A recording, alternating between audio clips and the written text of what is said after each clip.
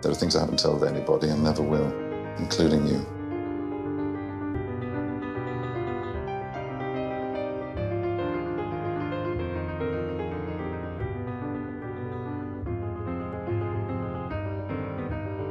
If I'm to take control of my life, it has to be now.